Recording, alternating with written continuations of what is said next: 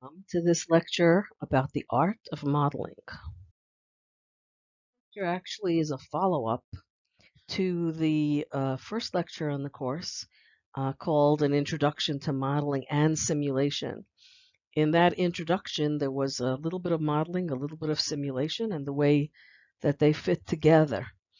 Um, and uh, as far as the modeling part of it, there was some material that was specific to creating models uh, that you, we're going to be studying in this lecture.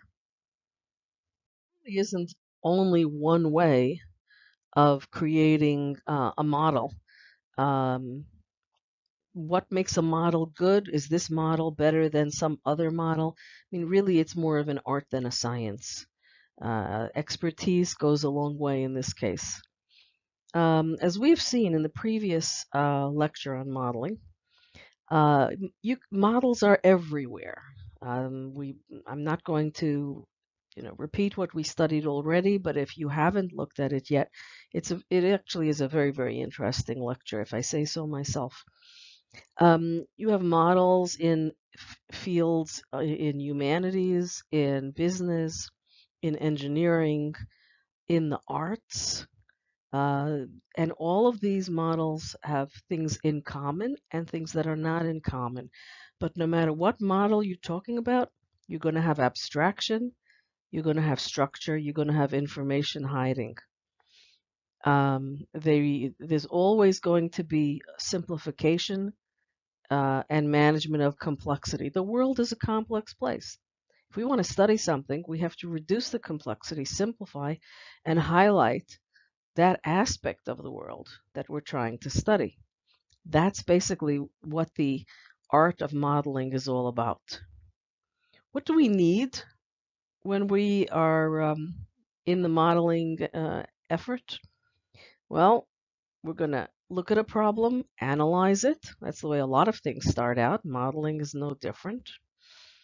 Um, the problem is going to be a, um, a complex problem, a real world problem we want to abstract from it the essential features uh, that we want to study. What are the things that must be in there? What are, and, and certainly whatever it is we want to study, that must be in there.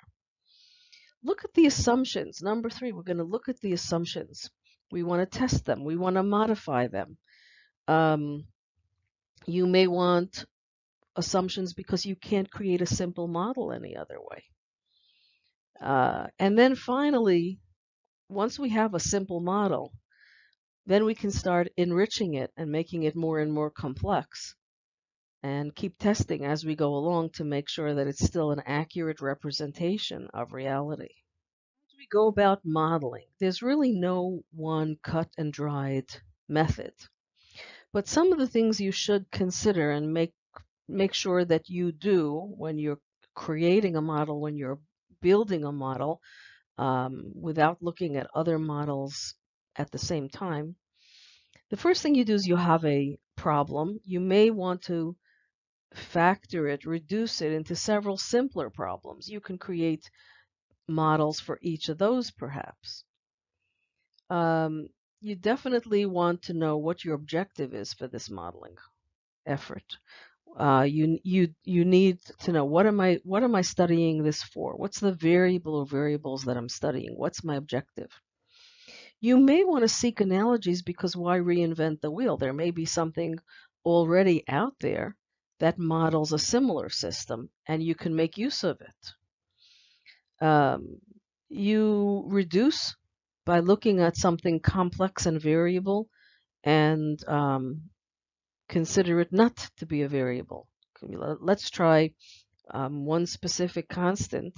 Try running the problem as a model and see what happens. And then, you know, you can always um, make it more variable later on after you've you know, got a handle on it.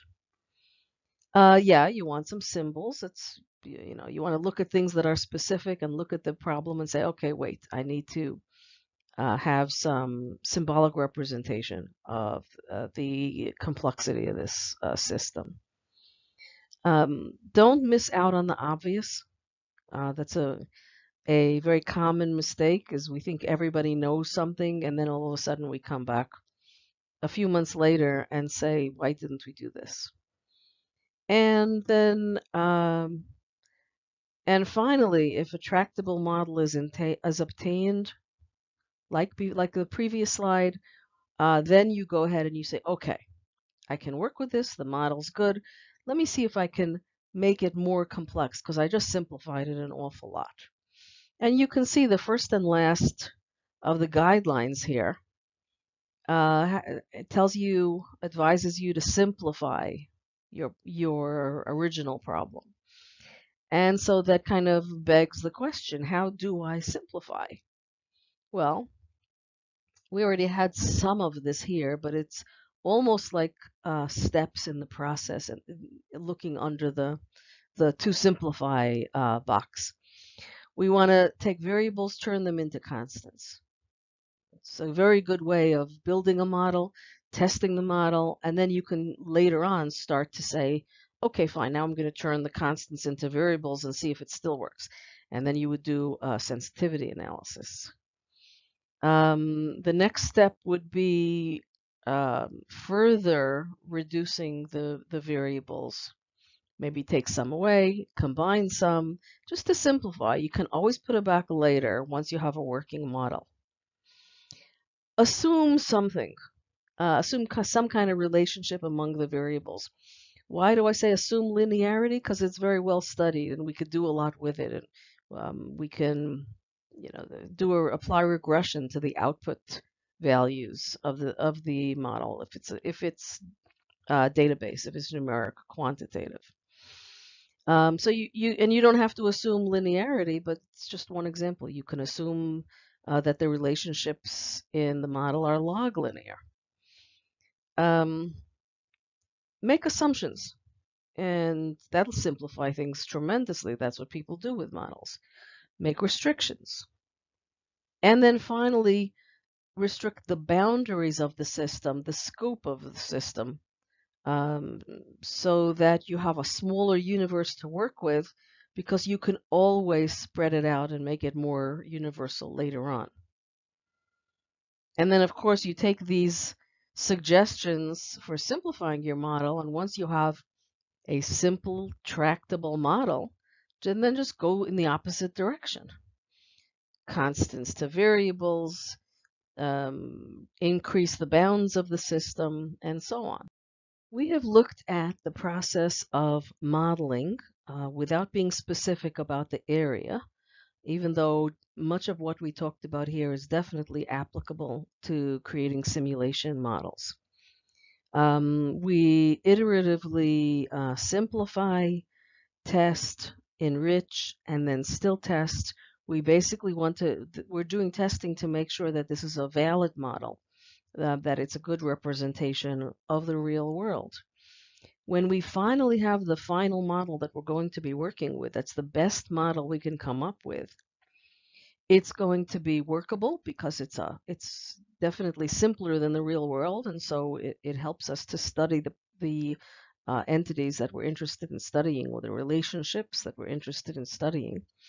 And yet it is also about as, as complex as we can make it uh, and still uh, make sure that the, the model uh, is valid to work with.